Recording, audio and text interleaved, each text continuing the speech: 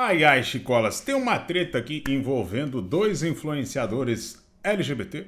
O a Samira Close, que é muito boa. Curto ela desde o início, desde quando tá no Facebook. E também o Carlinhos Maia, né? Todo mundo conhece o Carlinhos Maia.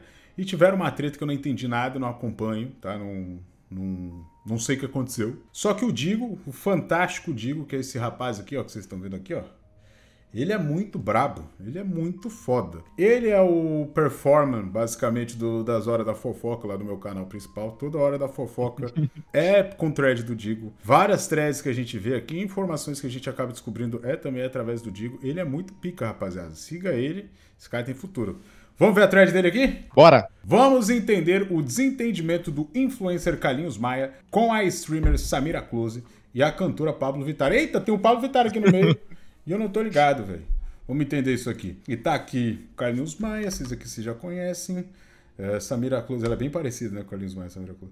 O Pablo e o Gominho. Vamos lá. Todo mundo sabe que a Samira carrega uma fama de ser parecida com o Carlinhos Maia. Uhum. Mas ela se nega a gostar dessa fama. Faz brincadeiras sobre, pois a maioria dos fãs fazem essa comparação. É a melhor maneira, até porque ela também é uma, uma influenciadora bem ligada com humor, né? Então, normal, né? Ela não zoar seria estranho. Ela pegar pilha com isso faria com que as pessoas enchessem mais o saco ainda, tá ligado? Não, meu amor. Eu vou, olha, eu vou fazer o seguinte, é, eu vou pedir exame mesmo, de né? DNA pro Carlinhos Maia. Já fiquem avisados, tá? Inclusive, Carlinhos Maia, eu vou entrar com ação de exame de DNA, porque eu posso estar tá de burca, só os olhos aparecendo, tá a cara do Carlinhos Maia. Não importa se eu tô de peruca, sem peruca, make-up, sem maquiagem. Não importa se eu posso estar tá com a base da Virgínia. A cara do Carlinhos Maia. Então, meu amor, eu vou pedir exame de DNA, porque pra mim não dá mais, não. Pra mim não dá mais, querida. Eu tô exausta. Exausta! Ai, ai. Na estreia do seu programa Super Pop, rolou um quadro em que as pessoas mandavam celebridades com quem se parecia. A produção do programa colocou uma foto da Samira e do Carlinhos. Peraí, vocês não estão vendo a reação dela, vai ter que ficar pequena aqui mesmo, senão vocês não vão ver a reação.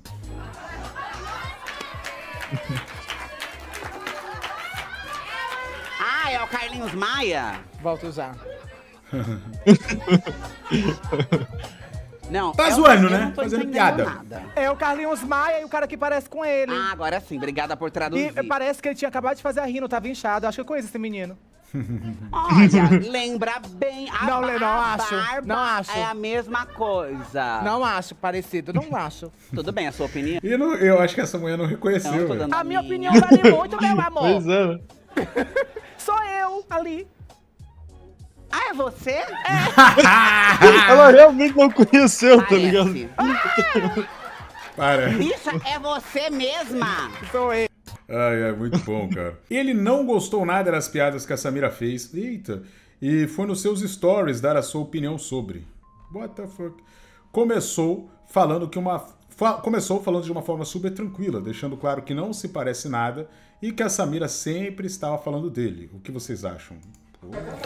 É igual, imagina, o, eu em 2020, 2019, 2018, onde enchi o saco do Felipe Neto sem parar, ele falasse assim, nossa, ele não para de falar de mim. Nossa, tá querendo muito aparecer nas minhas custas. Tô aqui assistindo essa gay do Ceará. Oxe. Carismática até. Mas toda hora essa bicha fala mal de mim, alguma coisa dela, me bota. Ela teve a audácia de dizer. eu acho mais uma pretensão do povo. É, e ela é boa, eu acho ela carismática, né? Aí ficam dizendo que ela parece comigo. Tá não, viu? Tá não, porque depois das minhas harmonizações, dos meus treinos, tá não. Está não. Mas o programa tá, tá, uma delícia. comecei a assistir aqui. Mas toda vez essa vaca me deprecia. Ah, eu acho o Carlinhos Maia tão pedante. Debochado. Falou também sobre a audiência do programa da Samira. Eita. Tá, eu tenho 10 milhões de visualizações em um único story. Seu programa Super Pop tá quanto? Que isso? Que isso? Caramba. Que isso? Vai. Já vou, já vou dar minha opinião aqui. Não mandei o Carlinhos mais tomar no não. Foi uma expressão assim. Uh, vamos lá. Porque essas gays, elas pararam no tempo ainda das polêmicas de oito anos atrás, quando eu surgi. Tem umas que ainda parou no tempo. Entendeu? Vamos evoluir. Não, então vamos falar das polêmicas atuais aí. Vamos falar de você não ter ajudado o Rio Grande do Sul aí e ter demorado bastante aí pra se pronunciar. Quer falar de atual? A gente fala. É uma boa. Eu não, diferente delas, não fico depreciando, não. Eu vou lá e apoio. Apoio as que eu quero também, né? Que as Cara, eu, eu, eu tenho. Eu parto do princípio, eu já falei aqui. Eu acho que é tranquilo zoar alguém muito acima que você. Porque não vai ser É, atingível, demais. tá ligado? Sei lá, eu penso muito assim. Ainda mais se é zoeira, se não é ofensa. Tá te zoando, Carlinhos. Pode responder de volta ou parecer ofendido da maneira que tá aparecendo aqui. Eu vou lá e apoio. Apoio as que eu quero também, né? Que as vacas que se lasquem. Ele filmando a tela. Mas é carismático, isso é estranha. Estranho. Jesus. Não, e ele é muito passivo-agressivo. Muito passivo-agressivo. É muito. Não, é, tem talento essa vaca aqui. Não para de falar de mim aqui, mas é talentosa aqui. A bicha, é muito tempo de tela. Nega, eu tenho 10 milhões de visualizações em um único stories. Seu programa tá em quanto? Não, não, não, vai tomar no teu cu, velho. Com toda sinceridade, outra, vez que eu expressei pro alto aqui, velho. Mas é que é o seguinte, cara. Eu acho o cúmulo o Carlinhos Maia falar isso, velho. Porque o Carlinhos Maia, ele pega tudo isso filmando um monte de subcelebridade dentro de uma casa fazendo algazarra. E antes filmando a vizinhança. Sei lá, velho. É igual o Flow podcast chegar e mandar uma dessa aí também. Ou o Podpah, tá ligado? Não, eu faço tanta visualização. Você faz o mesmo? Cara, você faz porque tem um monte de convidado, tem uma estrutura e tudo mais. Sabe, hoje você faz, por exemplo, no Instagram porque uma coisa levou a outra. Então hoje o Carlinhos Maia posta lá um Rios, vai pegar 10 milhões de views? Vai, mas porque ele tem seguidor pra caralho. Que ele conquistou filmando a vizinhança e filmando o- os famosos dentro da, da agora da, da casa dele. Sei lá, eu não, não consigo. Eu consigo imaginar a Samira sentando e escrevendo um roteiro de um programa pra ela e construindo aquilo, tá ligado? Como uma pessoa artística. E não consigo imaginar o Carlinhos. Não consigo. Consigo imaginar dando a ideia pro É Carlinhos e o Carlinhos falando que legal, gostei, vamos fazer. Sabe? Sei lá. É verdade. Acho que falar de número é muito. Erika, Erika é muito boa. A dicção dessa mulher é saber pra fazer história. A bicha, é muito tempo Ah, Erika Hilton, verdade, deputada. aquela ali. O Carlinhos Maia aproveitou o momento para relatar do dia em que foi maltratado pelo, pelo produtor da Pablo Vittar, em que a artista mal olhou para a cara dele. Tudo isso porque anos atrás ele tinha falas problemáticas e as pessoas tomaram aquilo para a vida. Vamos lá, vamos lá. Entrando pra fazer essa campanha, entramos no trio da Pablo. E aí eu lembro que o Lucas Albert estava comigo, junto com o pessoal que trabalha comigo e o pessoal da prefeitura para fazer os vídeos. E o Lucas Albert foi pegar uma uva no trio da cantora, uma uva. Al- alguém da, aí um produtor lá da, da cantora fez, não, não pode não, que isso é da artista. Uma uva! uma uva! Aí o Albert soltou a uva, disse: ah, me deixa aí, pelo amor de Deus, deixa essa uva aí, vamos fazer nosso trabalho e ir embora. Gravamos esse bendito vídeo, né? Onde ela mal olhou pra mim, ficou de costas e tudo bem, tu- ok. Eu tava sendo pago, fiz meu trabalho profissional, vou embora. Quando eu saí, de, aí fomos muito maltratados por esse produtor, né? é, da artista, maltratados e tudo mais, e eu respirando fundo para não mandar todo mundo pra puta que pariu, porque eu não precisava daquilo, mas como eu era profissional, estava recebendo, ok.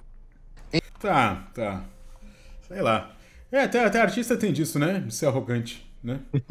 que nem uma vez eu tava. Eu, por exemplo, eu tava lá no. Eu vou comentar, né? Já que ele comentou, eu vou comentar, mas é que eu não ligo assim. Eu acho engraçado até. Eu tava lá no Senna, fui lá no Senna ano passado, tinha um rapper assim, do, do underground, e ele não, não, de- não devia gostar de mim, porque eu faço trap, sabe? Tem esses caras do underground que não gostam. E, ele, e eu pedi pra. Eu falei assim, ô, tirou uma foto. com- Eu pedi uma foto com ele, porque eu gosto Aham. dele, tá ligado? Ele, tipo, todo cara amarrado, assim e tal, tipo, todo tipo, putz, eu não queria estar tirando foto com esse cara aqui e tal. E eu quero que se foda, mano. Eu gosto da música do cara, mano. E aí? Vamos lá. Durante. Oh, desculpa estar falando palavrão, tá? Durante a estreia do programa eh, da Bianca Della Fancy. A Samira comentou sobre o ocorrido, pediu desculpas ao Carlinho por ele ter se sentido mal e convidou ele para ir ao programa dela na próxima sexta-feira. É, é pra apaziguar, né, cara? É uma, é uma coisa que. Tipo assim, é bom pros dois ser, ser brother, né? E é ruim pros dois não ser brother, né? É melhor ser brother, né, cara? Porque vai rivalizar, vai criar rixa. Só que essa rixa é muito boa também no sentido que fortalece o mais fraco sempre. Então a Samira Close seria muito maior se começasse uma treta com o Carlinhos Maia. Estreia É nosso verdade. programa belíssimo que tá acontecendo aqui. Parece ter uma situação chata aí com a Carlinhos Mike, É. sinceramente. Não, vamos deixar aí a Carlinhos é, Drag. A Carlinhos Drag. Falar com a Carlinhos Você quer Maia. falar alguma coisa, meu amor? Ah, amiga, então eu vi, fiquei passada. Ela falou que alguma coisa, que eu, era, que eu era carismática, mas sempre que ela aparece, que ele aparece comigo, alguma coisa assim, eu deprecio ele. Eu acho que não foi bem por aí, mas se você é, achou, se sentiu dessa forma, eu lhe peço desculpa. Inclusive, eu tô lhe fazendo um convite pô. assistir de plateia a pessoa carismática que você disse que eu sou. Ih! Toda sexta-feira, às 20 horas, aqui na Dia TV. Tratou com gentileza. Olha. Eu achei curioso que. É o quê? Fala que você parece com ele, aí ele ficou ofendido? Você viu? Eu também amiga? ficaria, né? Até aí. Porra, pelo amor lado de do Deus. Carlinhos. A Carlinhos, vai divulgar jogo do Tigre. Gente Pelo amor de Deus, aqui. é. É, pelo- Eu não consigo. não, não. Caralho! Não, mas é uma situação que eu, eu, eu entendo o, a Samira aqui, porque eu também faria. É, não importa a piada que eu fizesse, se o cara se sentiu ofendido, eu, eu ia pedir desculpa, ia, ia chamar no, no PV, ia Sim. falar, ô, foi mal aí, quer que eu tire o vídeo do ar. Eu sou assim, velho. Eu, como, como eu sempre digo aqui, e repetindo, eu levo o desaforo pra casa. É porque é uma treta que só existe mais na cabeça do Carlinhos, né? A Samira tá o É. tempo todo zoando e tal. E ele que levou pro coração. A Samira se pronunciou no Instagram e enfatizou o convite e se desculpou novamente. Gente- Vamos ver. Gente, e polêmicas. Eu tava ali reagindo com os meninos, né, o programa e tudo. E aí eu fiquei sabendo que o Carlinhos Maia postou nas redes sociais, Tô me sentindo Ismael vendo essa fofoca aqui. reagindo com os meninos, né, o programa e tudo. E aí eu fiquei sabendo que o Carlinhos Maia postou nas redes sociais que ele não gostava, que ele não tinha gostado da brincadeira, alguma coisa assim. É, e aí a brincadeira, no caso, é uma dinâmica, onde a gente escolhe pessoas, no caso, o, o tema do programa, que inclusive o meu programa Super POC é toda sexta-feira às 20 horas, em todos os canais Aonde? da Dia TV, inclusive. Mas o que é Dias TV, velho? Pois é, né? Desculpa, o que que é Dias TV? É, é- é do Léo Dias? Deve ser. Será que não é canal por assinatura? Será? Conheço o fundador do Dias TV, feita por influencers. Conheço o fundador da Dia TV. É feita por influenciadores. A emissora teve um investimento inicial de 10 milhões de dólar, caralho. E possui programação diária 24 horas com, com transmissão exclusiva pela internet. Ah, pela internet. Pô, que da hora, velho. Pô, show de bola. Deixa eu ver aqui. Tem no YouTube? Dia TV. E é ao vivão sem parar? Já faz É mesmo, é mesmo. Caralho. Monstro, monstro, monstro. Gostei, gostei pra caramba, velho. Mas vamos ver aqui então, agora que a gente já sabe que é Dia TV. O meu programa Super POC é toda sexta-feira às 20 horas em 20 todos os horas. canais da Dia TV, inclusive no meu Samira Close. Você pode acompanhar que é uma delícia. E aí a gente tava fazendo essa dinâmica onde a gente. As pessoas mandavam fotos e aí as pessoas falavam se era ou não parecida com uma diva pop, enfim. Yeah. E aí, é, sempre na minha live, nas redes sociais, o pessoal me compara muito. Tipo, ai, tá a cara do Carlinhos, tá a cara do Carlinhos. E aí a gente fez essa brincadeira pra Erika Hilton ver se de fato eu parecia ou não com o Carlinhos. Nunca houve intenção de falar mal ou do trabalho, eu não acompanho ali diretamente o trabalho dele. Então não teve essa intenção. É, então, como eu já falei, peço perdão se você se sentiu ofendido. E as portas do meu programa Super POC. E como eu tava falando, Estão já falei, tá abertas. Eu, eu- eu- sei que ela ia falar. Mas enfim, essa é a treta aí, rapaziada. Comenta aí embaixo aí o que que vocês acharam. É isso, não tem muita opinião, né? Já fui dando durante o vídeo. Né? Chega no final, já não tem mais fala. Isso é Maicon Pixel News, isso é Maicon. Isso é Maicon Pixel News. Isso é Maicon Pixel News. Eu vi no Maicon. Isso é Maicon Pixel News. Só notícia quente. TikTok é cancelada por tretar com qualquer outro. Famosinho fala merda e vai na história meio luxo. Três vídeos dia, um num café depois do almoço. E depois tem um react que sai logo de noite. Eu vi no Maicon Pixel News uma notícia nova. Que envolve um famoso, mas eu não conheço. Eu não ligo pra notícia, mas clico no vídeo.